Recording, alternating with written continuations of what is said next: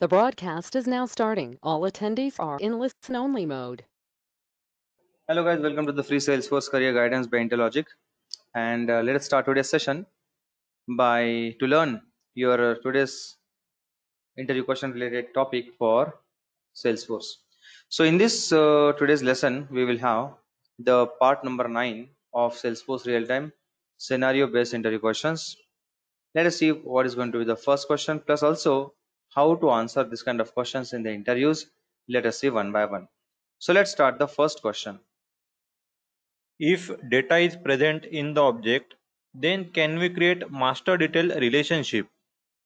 So when the data is present, then we cannot create master detail relationship on that directly.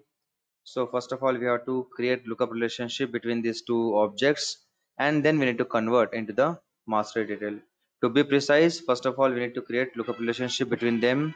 Then actually we need to ensure that all the child records have the parent records connected, and then we need to convert into the master detail relationship.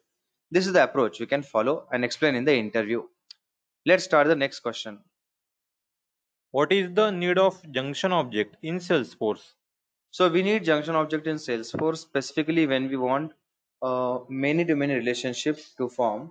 So whenever in the Salesforce project we have a requirement to form many to many relationship, we need a third object to ensure that we can replicate this uh, phenomenon. So for that purpose, junction object is required. That should be your answer in the interview.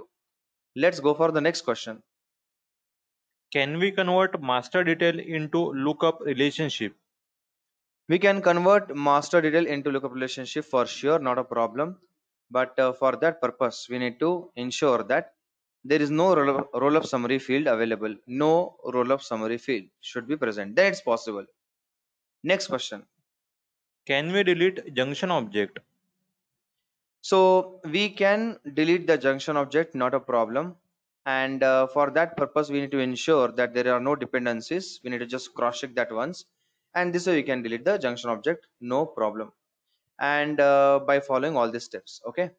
Now let's go for the next question. Can we delete users? In Salesforce, we are not having the authority to delete the users because that can collapse the system and integrity of the dependency a user can have in Salesforce projects. That's why we cannot delete a user in Salesforce. So this should be your answers guys in the interview. And uh, this way you can explain and give the presentation of your knowledge in the Salesforce.